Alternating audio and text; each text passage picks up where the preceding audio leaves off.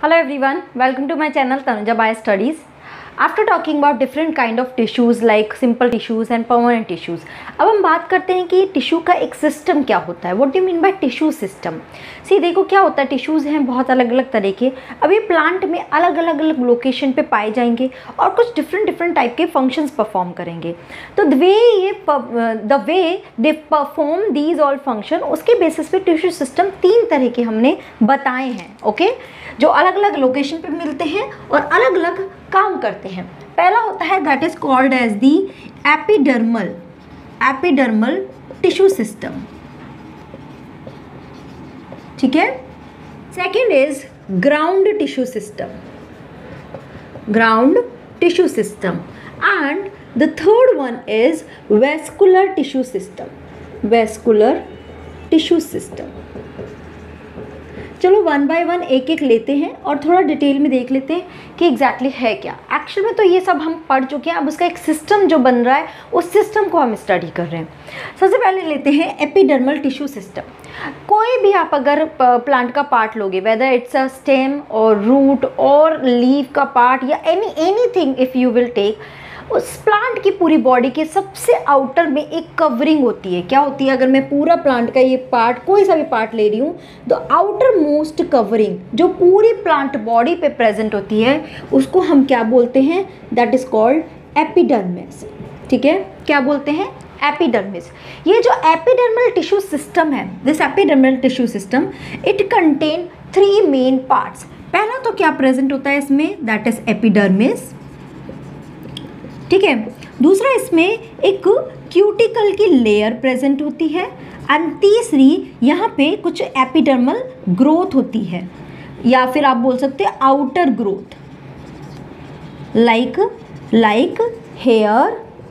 ठीक है जिसको हम रूट हेयर बोलते हैं या फिर ट्राइकोम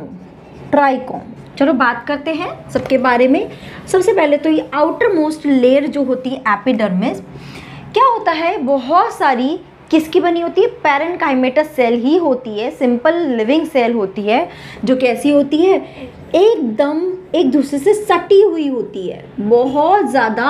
एक दूसरे के साथ सटी हुई होती है ताकि इनके बीच में कोई भी इंटरसेलुलर स्पेस नहीं प्रेजेंट होता और ये मैं खैर मैंने तो दूसरी बता दी बट ये क्या प्रेजेंट होती है एक सिंगल लेयर की जगह तरह प्रेजेंट होती है ठीक है तो क्या बोलते हैं सिंगल है कॉम्पैक्टली पैक है इसकी बाहर की जो ये सेल वॉल है ये कैसी रहती है वेरी थिन सेल वॉल और इसी के ही पेरीफेरी में यहाँ पर ही क्या प्रेजेंट होता है a thin layer of thin layer of cytoplasm ठीक है साइटोप्लाज्म का बहुत सा थिन लेयर प्रेजेंट होता है अब हमारा नेक्स्ट क्वेश्चन होता है तो फिर बाकी जगह पे क्या प्रेजेंट होता है बाकी जगह पे लार्ज अमाउंट ऑफ वैक्यूल एक लार्ज वैक्यूल बाकी जगह पर प्रेजेंट होती है आ रही बात समझ में क्या क्या बोला मैंने they are a single layer made up of compactly pack cell there is no intercellular space thin cell wall thin layer of cytoplasm and a large vacuole is present उसी के साथ ही और क्या प्रेजेंट होता है इसके ऊपर की तरफ एक थिक वैक्सी लेयर प्रेजेंट होती है ठीक है क्या है ये वैक्सी लेयर जिसको हम क्या नाम देते हैं क्यूटिकल क्या देते हैं क्यूटिकल आप कभी भी देखोगे किसी भी प्लांट के किसी भी पार्ट को वेदर स्टेम रूट और लीफ के बाद आपको एक पार्ट उस पर पार्ट्स कैसे दिखते शाइनी स्मूथ सा अपियरेंस दिखता है क्यों दिखता है क्योंकि उसके ऊपर एक वैक्स की लेयर बनी हुई है जो उसको एक स्मूथ अपियरेंस दे रही है इस वैक्स लेयर का रोल क्या है अगर हम इस क्यूटिकल का रोल देखें तो पहला रोल तो ये क्या करता है वाटर लॉस को प्रिवेंट करता है वाटर लॉस को क्या करेगा प्रिवेंट जल्दी से वाटर का लॉस नहीं होने देगा प्लांट अपने अंदर से पानी को जल्दी से नहीं वाटर लॉस होने देना चाहता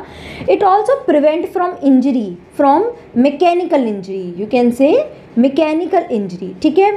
और ये also prevent from invasion of microbes किससे प्रिवेंट करते हैं फ्रॉम माइक्रोब्स कि माइक्रोब्स जल्दी से इसमें एंटर ना कर सके और कोई इन्फेक्शन कॉज ना कर सके क्लियर है ये चीज़ ठीक है अब अगर एपिडर्मिस की स्ट्रक्चर में हम देखें सपोज मैं यहाँ पे आपको दिखाऊं तो यहाँ पे एक और स्ट्रक्चर प्रेजेंट होती है दैट इज़ यहाँ पे दो गार्ड सेल प्रेजेंट होती है जिसको हम क्या बोलते हैं मतलब these are called as guard cell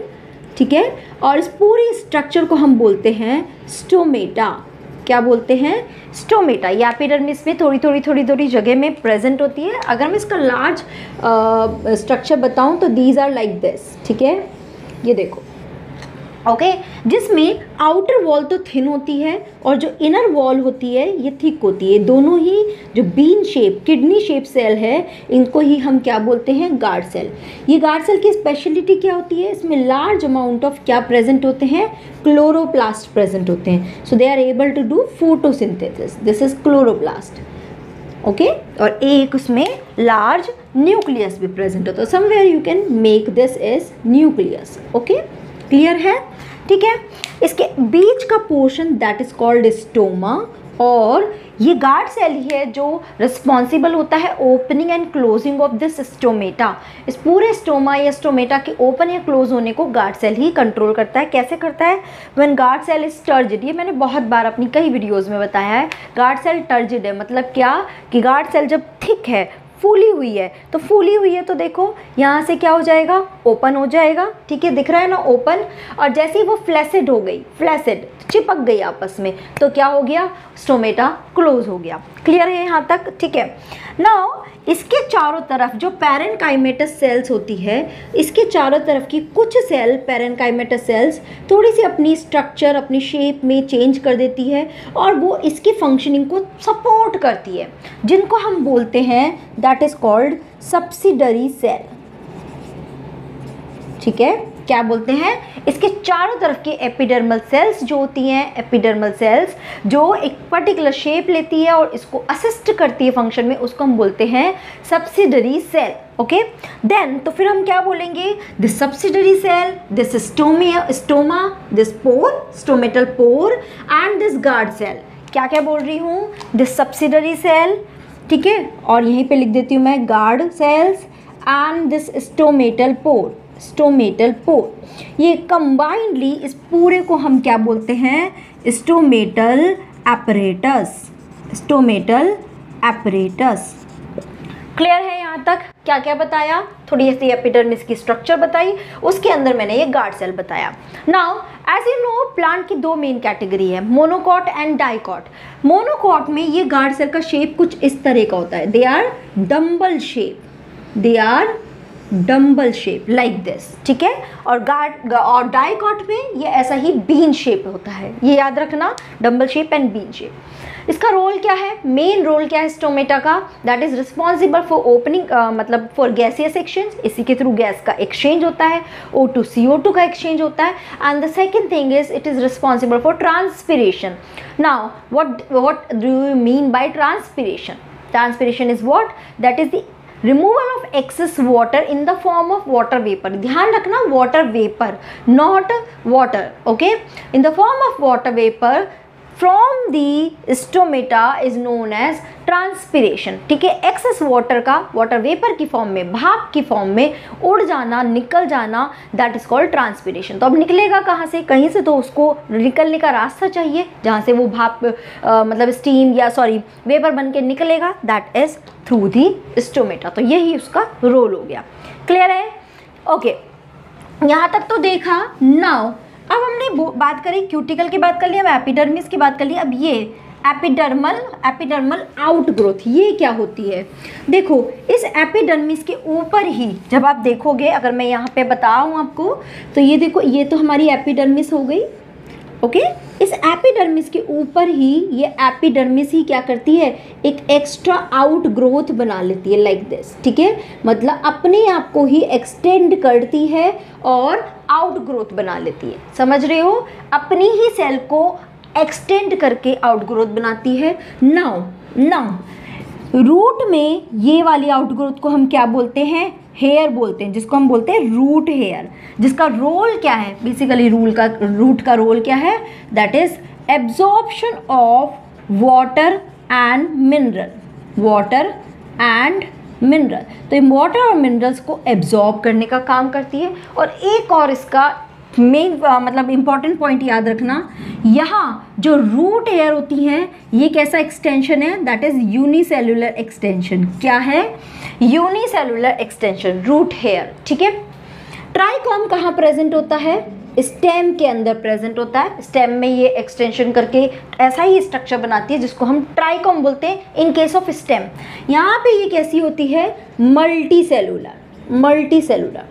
अब बेसिकली इसका फंक्शन क्या होता है that is to prevent the loss of water prevent loss of water या फिर कोई सिक्रेशन करना होता है that also done by this trichome ठीक है मेन क्या है प्रिवेंशन लॉस ऑफ वाटर समझ में आ रहे हैं हेयर एंड ट्राइकॉम दोनों का फंक्शन हेयर होता है रूट में ट्राइकॉम होता है स्टेम में सो आई होप ये तो आपको समझ में आया होगा ये आ जाता है हमारा पूरा एपिडर्मल जो आउटर मोस्ट लेयर है उसकी बात करती है ठीक है अब एपिडर्मिस के अंदर की तरफ अगर हम जाते हैं तो अंदर की तरफ हमें क्या दिखाई देगा ग्राउंड टिश्यू ग्राउंड टिश्यू क्या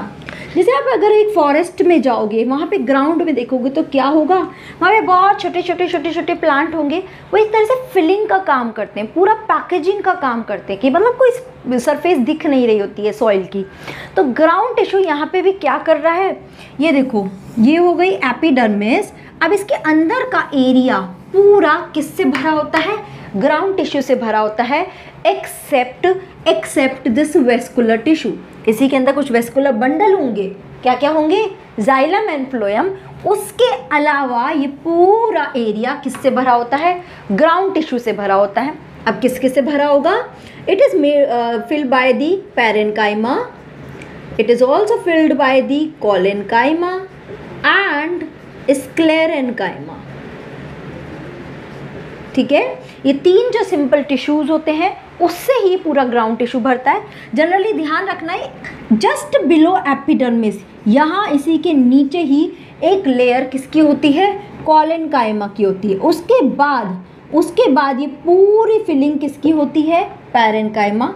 फिर यहाँ अंदर आपका क्या आ जाता है वेस्कुलर बंडल आता है उस वेस्कुलर बंडल के बीच बीच में जो एरिया होता है that's filled by parenchyma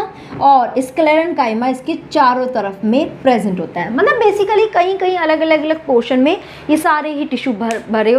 प्रेजेंट होते हैं और ग्राउंड टिश्यू बनाते हैं क्लियर है चले आगे ओके